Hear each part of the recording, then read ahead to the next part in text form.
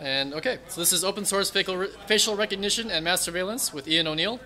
Ian is a writer of hacking tutorials with an interest in surveillance, counter surveillance, and making memes with machine learning.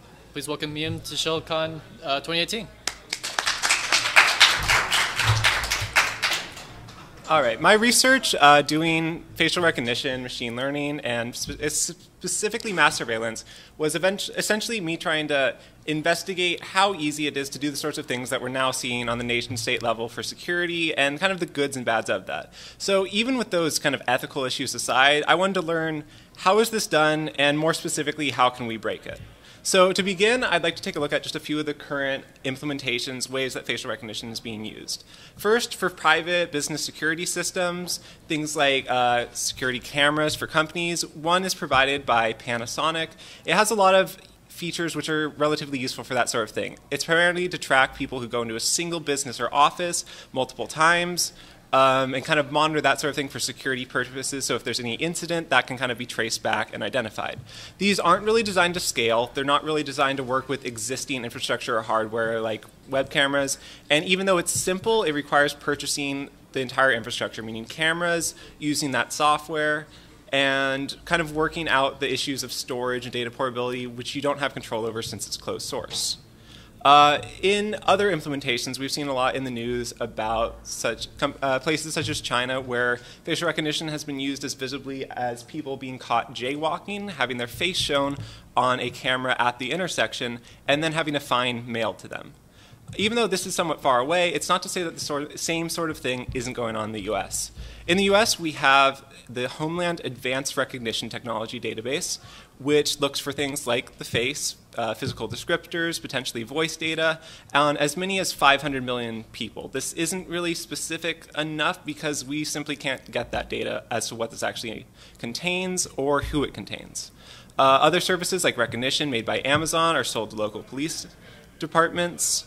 And even here in Los Angeles, uh, the LAPD uses a piece of software made by Palantir uh, which has had some interesting implications.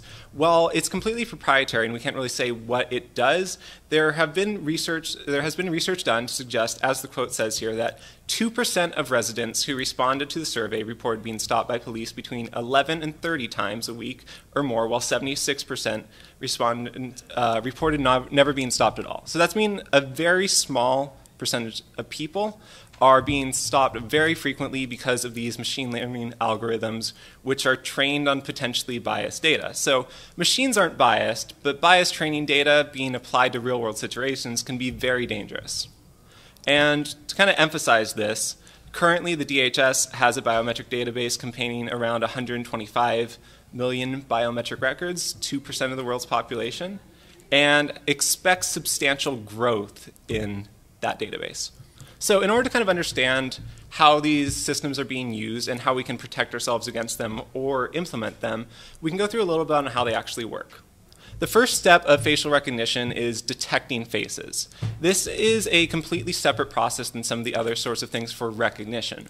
In fact, facial recognition uses about three different neural networks to do different functions at different times. So there are a few different ways to do facial detection. One issue in this specific part of facial recognition is speed. One of the things which solved this was the Viola-Jones object detection framework. This used little boxes of high contrast areas, overlaid them to look for shapes. This is something that you'd see commonly on something like the screen shown here, on a digital camera or phone where faces are being identified. Now, this is a very rough way to approximate faces, and as such, that's a lot of the reason where if you've ever used a digital camera, seen the screenshots where it's like, oh, is there a ghost in this corner? Why is it finding a face in the dark? It's just kind of a level of contrast. Now, what's being used in modern systems is a different technique. So, some previous uh, research on evading facial recognition were these uh, styles, which were done by Adam Harvey of CV Dazzle. These looked for these high contrast levels that the Viola Jones object detection framework looked for and placed kind of spoofing agents within the face in order to overcome these. What's interesting is even looking how extreme these uh, styles are, they do not work against the current systems. Uh, the modern way being used to do facial de detection is histogram of oriented gradients. This takes a black and white image, it looks for levels of contrast and kind of creates almost pixel-like units of percentage of contrast and increase. So it takes things like a nose being brighter than the corners behind it and turns this into something where it can be measured numerically and compared to things which are known faces. This is effective even against this sort of style because it can still identify those core facial features. So the next step, which actually is more important when it comes to doing facial rec recognition, is landmark estimation. Once a face is isolated in a picture, uh, it, you need to be able to actually numerically compare it to other faces in order to identify them. One example of this is dlibc, which has a facial recognition library which looks for 68 points, which can be roughly approximated on any given face. Some models look for as many as 194, which is more accurate, but of course requires higher resolution data as well. Models uh, define individual points or landmarks. These are assumed to exist on all, and once you have those points, you can measure the distance between them. The actual math behind this is much beyond my level of understanding. I've linked a paper on it in the bottom uh, there, one millisecond face uh, alignment with an ensemble of regression trees. Uh, I have a link to that paper in the last slide here. I can honestly say I don't understand it. But I'd like to emphasize that in not understanding any of these low-level mathematical operations going on in machine learning, I was able to build a perfectly functional facial recognition system that could do mass surveillance-like behaviors in just a few hundred levels, of, hundred lines of high-level code. So once these landmarks are detected, they're centered and kind of made so that either a person turning their face or a person with an asymmetrical face would not have that counted out. So rather than necessarily looking for a face at a specific angle, the points are referenced and scaled in order to average them so people's faces at different angles or with partially covered faces could still be positively identified. Some examples of these different facial landmark um, estimation examples are shown here in these images. You can see the upper left is how it should actually behave. Uh, the right is, shows a partial issue with obfuscation, but even though you can see that the left eye in that image is slightly off, because of the way that the averages are done in order to estimate them, you can still actually make positive identification, and that face is a sufficient amount of detail to do recognition against thousands or potentially hundreds of thousands other faces. Uh, as goes for the lower left, uh, metal style corpse paint is not usually enough because it doesn't really violate the substantial features which you'd need to change in order to overcome facial recognition. Most amusingly, at the lower right, I found that Juggalo face paint does in fact often overcome this because the places of the jawline in specific are completely redefined with that high level of contrast. Even though the features, the core features such as the nose, eyes, and mouth are able to be identified accurately since those are very difficult to move without completely obscuring them, the jawline was almost completely spoofed with the high level of contrast there. Something which was found to be very amusing by news agencies. I would have wished they focused a little bit on the ethical implementations of facial recognition, but it was funny. I was entertained.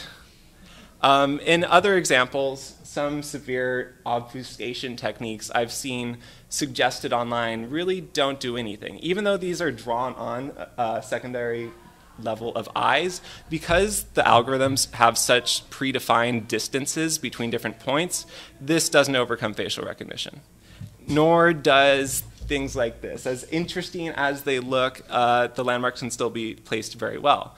What I would like to emphasize, though, for overcoming facial recognition with this as an example, is that you can see the mouth is slightly changed in shape. And this is something that I've found to be more accurate with modern facial recognition techniques. Rather than trying to completely hide or redefine features, trying to expand them or kind of transform them while maintaining existing lines of your face is somewhat more effective. So training a neural network to do facial recognition is one of the most important parts because you need to be able to figure out what faces look like, compare them to other faces, and this is something that you can't really manage with traditional algorithms. Luckily, these models are pretty much fully developed and existing and open source. So training a deep convolutional neural network to generate these 128 measurements between the previously found 68 points allows us to have a set of data which we can compare numerically to other faces to make a match. The training process is something which also takes a lot of time or power, but because of the way that machine learning works, you can have a pre-trained model and really not have to use any computing power and just take that data which is already existing. Uh, what I used for my personal project was uh, face underscore recognition, which is a library for Python, which is kind of a wrapper for dlibc, which does the actual detection, um, placement of points, as well as taking those measurements. So one thing which is interesting when coming from kind of traditional data management structures, how do you actually deal with biometric data? Now, normally with data, you'd have something like an index. If something's going into a database, you can order it alphabetically, you can order it by its number, its size, a lot of things like that. When you're comparing faces in a database, you have 128 different measurements that you can't simply take one as the index. Uh, this is among some of the other issues that we've seen with managing all the metadata that comes from when you're taking in different cameras and different sources, correlating people, gathering new faces, making sure that there aren't collisions. Dealing with biometric data is something that's still very new and something that even many government surveillance systems have kind of had documented issues regarding. One thing that's interesting, though, is that because of social media, the publicly placed cameras, which are altogether common now, you don't need to fully construct a new facial recognition system or database to be able to still monitor people effectively. One way that this was shown that um, in Russia, VK.ru or VKontakte uh, had basically a lack of limiting or rate limiting on requesting profile pictures. So this company, FindFace, basically requested every single profile picture and URL for every user on VK. Then they trained that, um, they trained a facial recognition model on that, and now they have a website where you can take a picture of someone and look them up and find their social media just with their face. Interestingly, because this um, actual secondary kind of metadata of facial recognition data isn't taking pictures of people, it's taking measurements, there is a lot less regulation on how this is actually even legal. Like, storing facial recognition data is not regulated whatsoever. Even though taking pictures of people can be in certain contexts, facial recognition data specifically, those measurements which could be used to identify people, is very much metadata which is not being managed or regulated in any way. Additionally, I'm sure some of us in the room are familiar with Shodan. The availability of webcams and cameras that are either weakly secured or completely uh, open kind of means that you can take existing uh, hardware, develop new firmware for it, or manage those feeds to create kind of a secondary, almost like seeker, sneakernet facial recognition system of just open source data. So this data farming of things which could be used for marketing. One example might be someone taking uh, a facial recognition scanner outside of like a um, hospital or something like that and selling that data to insurance companies. As of right now, that wouldn't necessarily be illegal because it's not taking photos and it's not even necessarily tying a name to that data. And because of that, nobody can even say if that's currently being done. So managing this facial recognition data is very different to managing usual data, but a lot of the same systems can still be used. In my case, I used uh, PostgreSQL, same as any other SQL syntax, more or less, but I had to do some special tricks to manage that data. Rather than comparing images one by one, to determine the image of a match, we have this pre-computed version, which is these 128 measurements. This set was generated by the neural network. We can format in a way where each of these are set as dimensions which can be individually sorted in our database. So the formula we do that with is Euclidean distance, because rather than normal kind of database sorting where you have a single index and it's just is this something larger, smaller, higher number, lower number, you need to be able to manage those 128 dimensions in multidimensional shape. Uh, you, what you want is the average of how similar those 128 dimensions are to another set of 128 dimensions. That's very different to normal database management, but it is something that can be handled by existing technology. In my case, I used Postgres, which had a cube function. This was previously being limited to 100 dimensions. However, by, custom, by compiling Postgres yourself, you can change a single line in cubedata.h to change it to 128 dimensions. And then from there, I was able to sort these kind of as what it treated as multidimensional cubes, meaning this 128 dimensions in multiple space could be indexed and the similarity could be compared numerically just using an existing database system. So the sort that I actually use to do that is pretty much regular SQL syntax, order by, face encoding, and then the distance being the cube array, which includes the face encoding to reference kind of how this data actually scales, um, each entry is around 4 kilobytes, very small, meaning every 250,000 entries is around 1 gigabyte.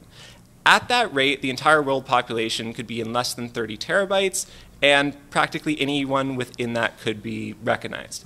With high quality photos uh, at consistent angles, I haven't managed to create any collision as to where two people were actually being matched as the same, even using data like twins. And I honestly found that the facial recognition software was better at differentiating twins than I was.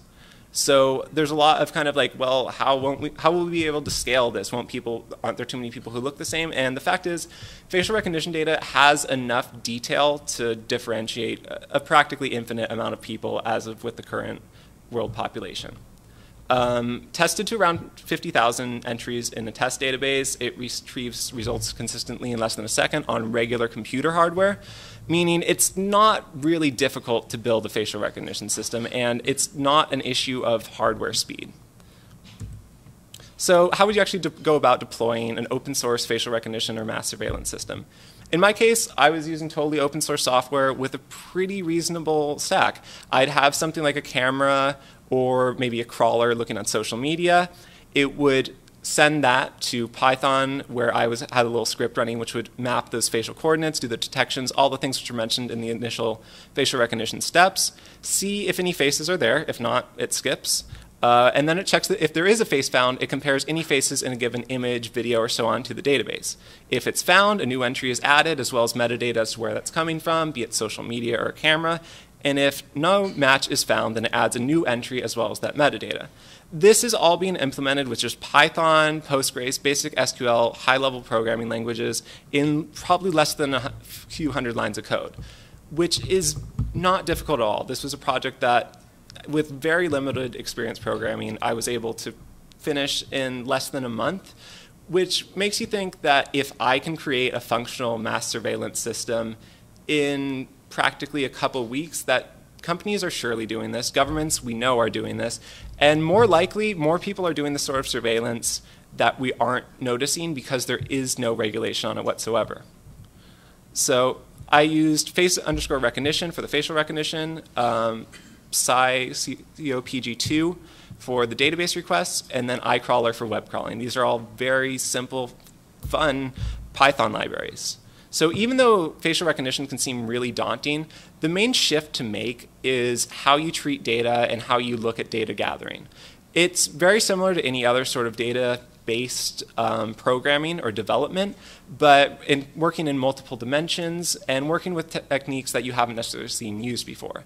In the same sense, though, all of these things are completely available and developed. Even though facial recognition seems like the same thing I see when I look at the research papers, where it's just a bunch of math that I definitely can't understand, you really don't have to work with that now. And that kind of, to some point, scares me in how easy this actually is to do.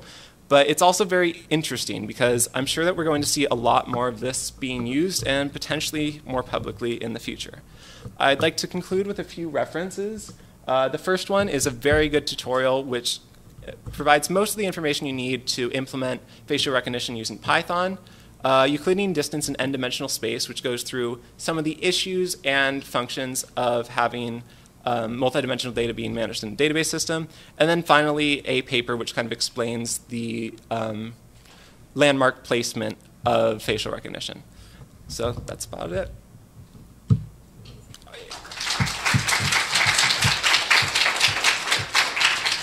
If I have time, can I do questions? Any questions? So uh, you, you have a private database that you're growing with a crawler? No, I have not. Or- I have. I, I have. This is theoretical? I've written the crawlers and I've tested them to around three entries, which I owned as a test thing. It was just one of those things where it's like, hey, theoretically, this is not regulated at all. I don't want to do it. So uh, ha- have you have you considered like uh, the challenges of scaling that where people don't have pictures of their face um, in social media that skewing your data set? I mean, in general, it would just discard that face. So, like, let's say like the training model for crawling that would be, it would look through profiles. If there is a high quality enough face, that it matches it. What's more difficult, I've found, is when there are other people's faces, where it's like pictures of friends or so on. What I've tried to do a little bit with that is based, is focused on Instagram, where I would look through kind of a set of photos, find the faces, which is a kind of low computational power process. Like, let's say just only include their photos with faces and include the face that's most commonly seen. which isn't necessarily effective, but you can also kind of emphasize that in the data or like mark that metadata to say, yeah, this might not be right. I don't really have a specific question, but it is, it's about a, a twins issue. I have a twin brother and uh, my, my wife is the one who keeps track of family photos and all this business and she, uh, man, you know, several years ago really started to like this thing, I guess Apple, that iPhoto has where it tags everybody and iPhoto has always failed to distinguish my brother and I. Um, and I've always thought, well, that makes sense that it has trouble with it because that's like some kind of edge case. So I was surprised um, to hear you say that that this was better at it uh, from what you saw than, than what you yourself. I, I think the main issue with kind of those like high detail levels of recognition thing are the quality of the photo and the size of the database and the threshold of that match. So let's say like my conditions for reference were like kind of perfect conditions. This was like a photo which was at least maybe 1200 pixels roughly high um, with that's just kind of a close crop of the face, same angle, same exact thing. And with that, you can have kind of increasing detail of how accurately those landmarks are placed and the threshold of how they're compared. So to emphasize that for twins, I would say it's extremely effective in high detail situations. But that goes for general facial recognition too. A low resolution photo, uh, just a photo where the face is ob obscured. What you need to do to at least to have an effective scaled database is take those and say, oh, this is either too qual this is too low quality, I won't add it, or I'll mark this as low quality and treat it with less weight. So there's a lot of weighting and kind of evaluation you have to do because no, no match that isn't the exact same photo is going to ever have 100% accuracy. And that's kind of one of the issues that you kind of have to jump to when switching from regular programming. It's not going to be 1 equals 1 on a match. So you have to set a threshold and determine what's acceptable based on the conditions.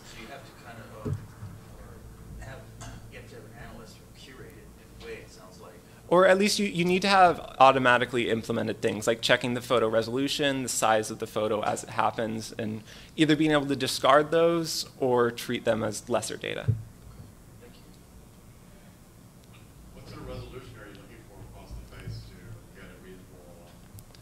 I mean, it, it, can be fairly low, I would say. Maybe a photo that's 200 by 200 pixels, that's like a close crop of the face. It, it, doesn't need an exceptional level of detail if it's a good photo, but there are definitely like a, a lot of security camera footage is not high enough quality. Part of the creepiest part about the project is uh, the aggregation of data and how you're able to tie all that data to a single like human's face. Um, did you consider other sources of uh, data that might be location-based, like uh, dating or other things that might include a lot of information someone might not consider to be public as uh, something you can aggregate in a project like this? Absolutely. Social media is kind of the most broadly used. That's what I was focusing on. But I've also done some research on using dating app APIs, where a lot of people have very personal information, personal connections and things like that going in, as well as things which could be used to kind of be dangerous in certain places. So th there's a lot of data that's publicly available and people are willing to put out there because they think it can't be correlated to them. But if they have a face on that profile, they, there's kind of a point now where you have to realize that that's not necessarily the case. Even if something online isn't associated to your name or you in any way, as soon as these facial recognition pieces of information are actually being indexed, that can be tied back to you, uh, which is interesting and mostly dangerous because I really have difficulty thinking of situations where that's good. How does it handle uh, kind of natural changes to a face over time, like you know, getting older, gaining, losing weight, that kind of thing? Uh, gaining and losing weight is only relevant on kind of the extreme end, and aging tends not to affect it. One thing that can be done is depending on the level of quality of the data. Uh, this goes for things too where it's like, let's say, concealing like the lower half of a face with a mask or something. You can focus on specifically the eyes. You can focus on kind of things which won't change, being like the mouth, eyes, nose relative positions. Whereas generally with age and um, weight change, it's just kind of a change in the jawline. So in general, I haven't seen it enough to be over the thresholds for most matches. Um, there are some extreme cases where it has, but those can also be kind of countered against.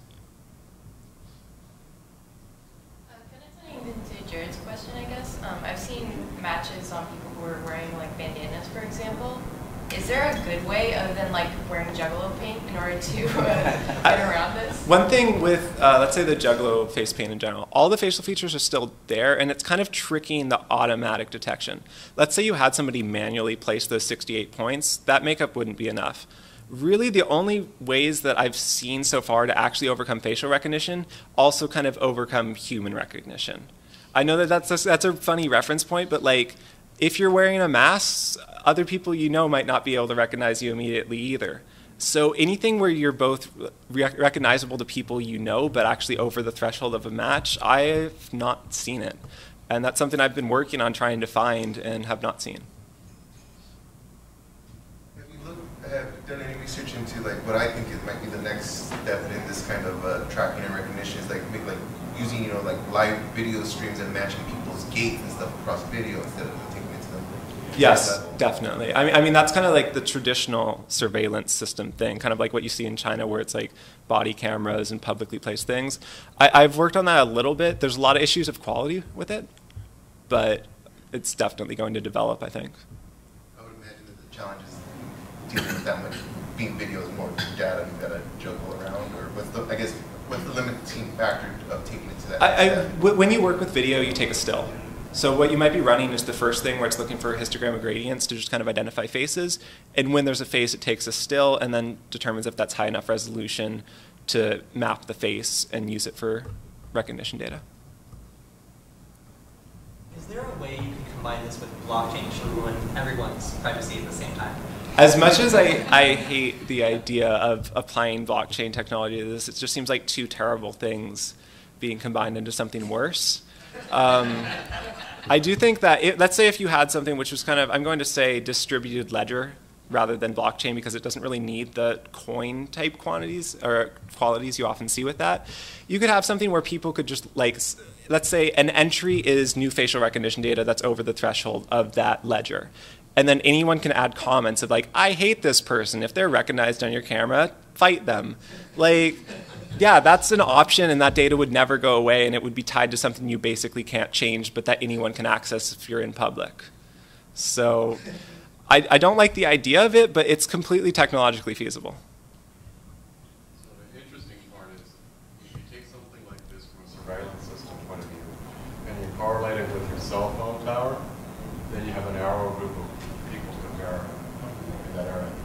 Yeah, one thing I've, I've looked into as well is like correlating it with things like uh, mobile phone or laptop probe frames, like kind of passive reconnaissance on that level, voice recognition, just seeing how much metadata you can kind of get these cross sections of and have extremely detailed portraits of individual people. Um, have you looked into, say, say a person's face is obscured uh, totally except for the eyes? Would that be enough for facial recognition software? Uh, it depends on the, it comes down to resolution much more so at that point because kind of the more data points you have, the less specificity you need. It can absolutely be done with just a picture of the eyes or even just a picture of the iris, but you need to have a model specifically trained for that, and you need to have a level of detail that's acceptable. A full face is more detailed than just kind of the eyes area, but if you have a good enough photo of that section, you can definitely do it with only that. So, hypothetically, if the nation state was to track someone just using eyes, um, they have to have, let's just say that they get them at the border and they take a picture of them. Would that be enough to track them using public security cameras, or would the security cameras also have to have high res? The security cameras would end up being kind of the bottleneck in that because generally speaking, it wouldn't be high enough quality. Uh, and when what I've seen when it's been used to kind of uh, unmask, for lack of a better word, protesters, it's been with high resolution photographs that were just stills and then kind of compiled. So higher quality than even video. You will be surprised at how quickly the pixels get uh, diminished on a security camera. You have, let's say, a 4K security camera, with 8 megapixels, at a 90 degree uh, field of view. At 25 feet is where you, the 100 pixel per foot mark is, and that's what you use typically from, from the security camera perspective to say, I can identify that face if I get a good face, you know, straight on shot. Only 25 feet. So you really need to have either a very narrow field of view and really hit the person's face if you want to get those kind of results. To emphasize that, the current cameras being used for facial recognition on the nation state level are specialized for it.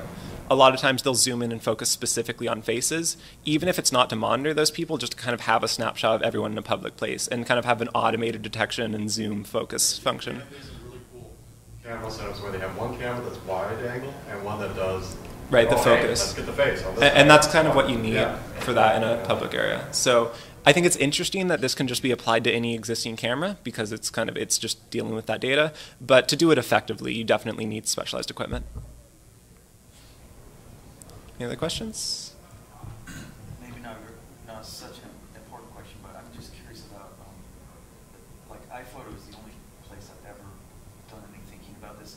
I worked with a guy who, uh, he and his wife, uh, like every year took their uh, vacations in different parts of India, and when he started using iPhoto, uh, it was like, um, th- you know, it began to recognize people and what's this person's name and all this.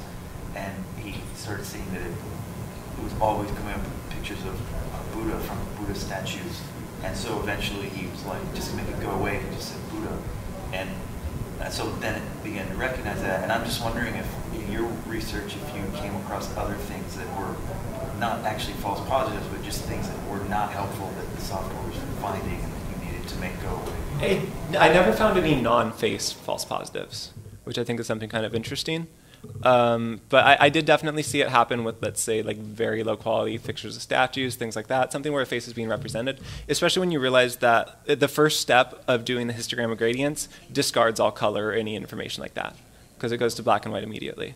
So another one too, like with that like eyes painted on the face, I, I found it very difficult to generate false positives which aren't faces whatsoever.